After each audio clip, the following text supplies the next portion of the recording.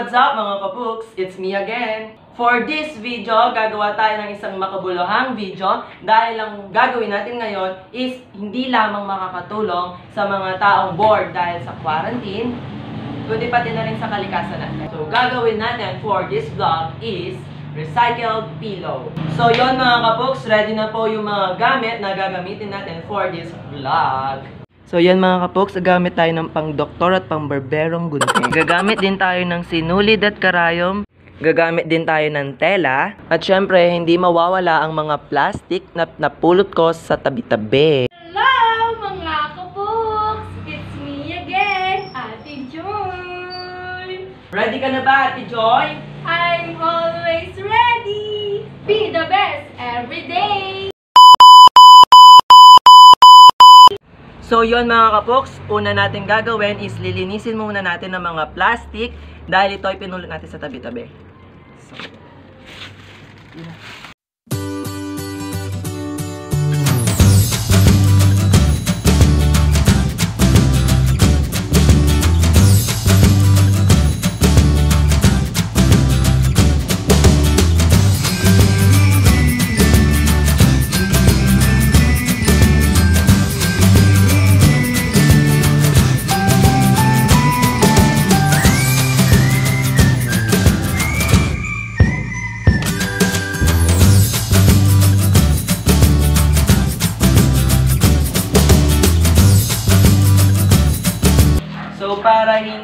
hindi mabasa-basa natin ipapasok dun sa tela, para maging unan, pupunasan natin yung mga plastic.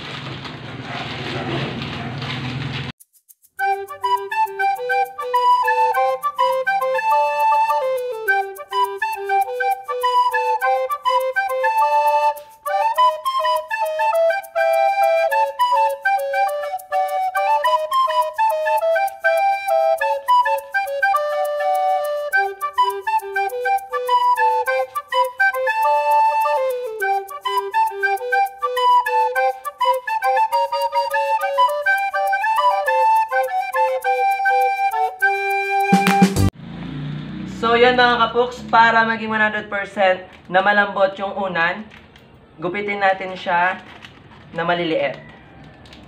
So, yan.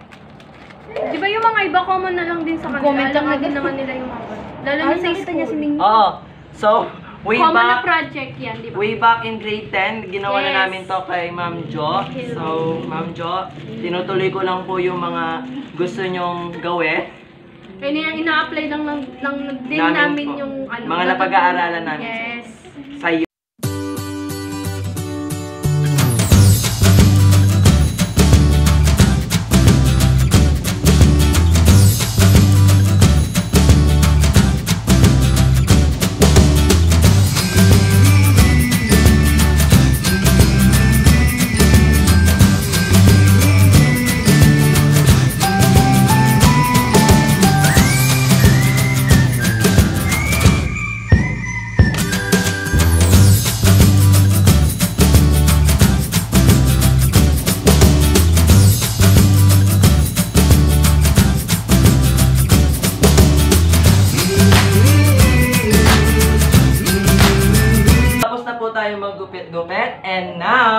Ilalagay na natin siya sa malinis na tela. Tumulong ka. Tutulong ba ako? Kala, kala ko. This. Oh my God! Pawis po yung ginawa namin dito. Sobra, guys. True.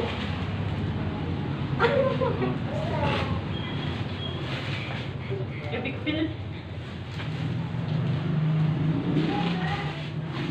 Guys, yung mga plastic na napapakinabangan din natin minsan dito. Paano naman yung mga plastic na yun? Oo nga. Trututut.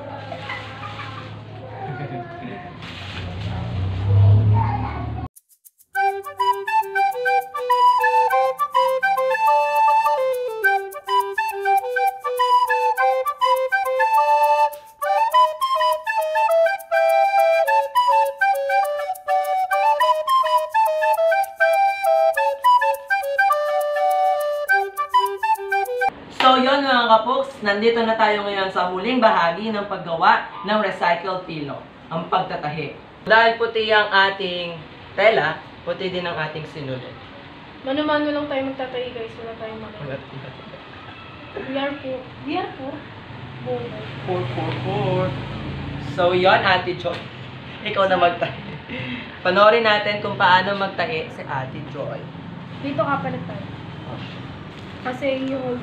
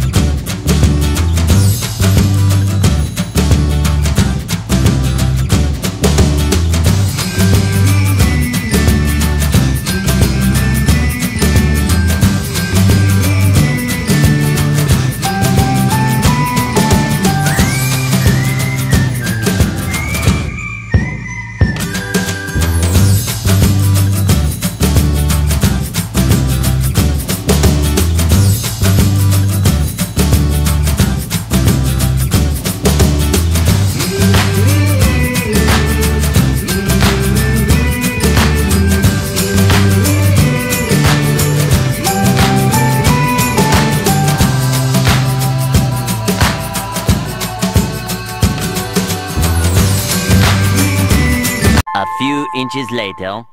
Ginabi po kami ngayon sa pagbibideo kasi kinailangan namin ihinto kanina yung pag, ano, pagbibideo namin kasi ano na 6pm na. Sa tuwing sasapit kasi yung 6pm, kailangan namin mag-pray ng rosary. Kasi napaka-importante ng dasal ngayon guys. Sa panahon nga ngayon, na kailangan natin ng dasal para sa magandang sandata. Pero, tapos na tayo sa ginagawa natin. Yes guys! Sana huwag mo kami i-judge kasi ginawa naman namin lahat para maging maganda tong ano namin, yung recycle pillow. Yes. Gaya ng ibang unan, pwedeng pwede natin itong gamitin pang tulog. And, yung kinaibahan lang is 100% plastic. Mga kapok, yung mga plastics, plastics, plastic pala, pwede din palang pakinabangan kahit papan. Nakakatulong din pala sila. Yes. Ginawa namin to para mabawasan ang mga basura na kinokolekta ng mga collector ng mga basura. And para, sa paraan na yon, makakatulong kami na makatulong sa kalikasan. Yes. Mabawasan yung mga pollution kasi di ba usually naman yung mga, yung mga basurang ganito sinusunog. So napakaano naman. So yun mga kapuks, kaysa naman sa itapon nyo sa tabi-tabi yung mga basura, ba't hindi nyo na lang ipunin at pagkaabalahan at gawing Yes. una. Sa mga walang magagawa, ano dyan, walang ginagawa, yung mga nag-board, ganyan. Alam namin na mahirap patayin ng board, boredom. So, highly recommended. Sana gawin nyo rin tong punan na to. So, yun mga kapuks, gawin nyo na ngayon at ngayon na na mag-ipon na kayo ng mga plastic, mag-ipon na kayo ng mga gagamitin nyo para makagawa na kayo ng unan. Tulungan natin maging malusog ang kalikasan. Shoutout lang natin yung mga nagpapa-shoutout dyan. So, shoutout kay Limuel Canlas, M, thank you so much dun sa ginawa mong video para sa akin. Well appreciated. Mariel Ipil, hi sa'yo. Gilmore Katubig, hi din sa'yo. Siya naman, Kay ano, kay Vince Cañete.